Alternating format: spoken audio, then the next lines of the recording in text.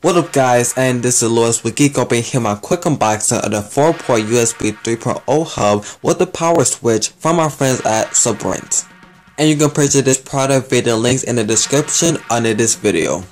Alright so let's begin. Here is the packaging as you can see it is a plastic metal packaging. Not my favorite but it is what it is. You have your information down here in three different languages so English, Spanish as well as I believe French. Correct me if I'm wrong.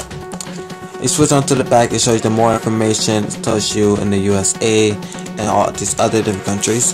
It also tells you the compatibility right here. It says Windows compatible, Mac OS X compatible, Linux compatible. It's 5 gigabytes per second and a USB 3.0, well as well as some marking, um, barcode, QR code, the website, and all that great stuff. Now I don't want to bore you with the unboxing, so I'll have my trusty scissors right here and I'm pretty much gonna speed up the video, so enjoy.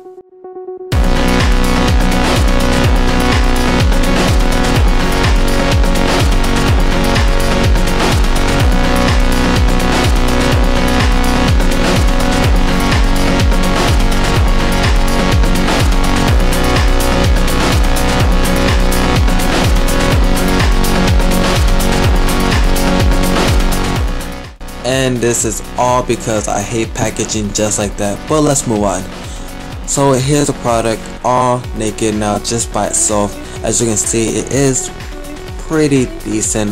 Uh, I know you can tell by the video but it it weighs little to nothing. It's all because it's plastic which isn't too bad but it's okay.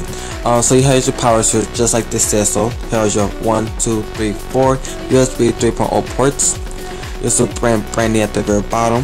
Flip that over. And you have some barcode information on the back of it.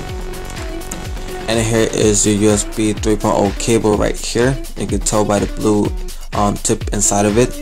And that's pretty much all that you get inside the packaging and I will be testing this out on different computers for the next whole week and I'll come back with in one week to give my full review about the pros, the cons, and if I recommend buying this for yourself. Until next time, stay awesome and yes, have an awesome day.